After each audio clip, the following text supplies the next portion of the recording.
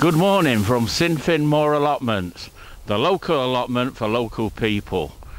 It's been a long time since uh, we did our last blog to let you know what we're doing, but uh, now we're right into the um, season of growing everything. So people keep asking me on social media and when I meet people in the street regarding are we doing hanging baskets this year?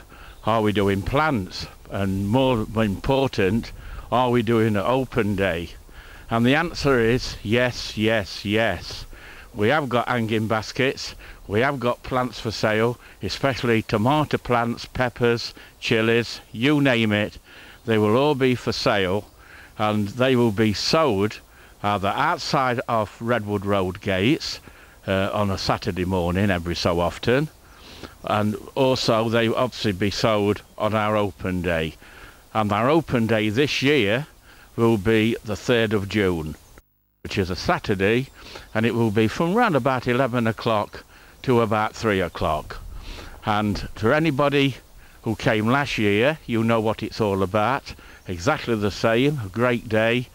Anybody any newcomers who are going to pop along this year and see us then obviously we've got plant sales we've got hanging baskets for sale uh, tomato plants loads and loads of gear really. We have a tombola. We have a, a, a prize every time uh, which is a pound a go I believe. Uh, we have entertainment uh, and a lot of people love it we have bingo.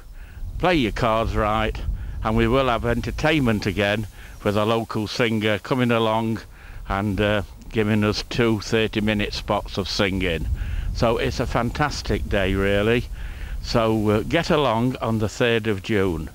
Um, let me just point out one of the two problems we're having this year and you, I think you all know this is the fact that the cost of living and the prices of everything especially compost have made it that um, obviously we're doing hanging baskets from 20 pound up to 25 pound and we're keeping the tomatoes at one pound fifty.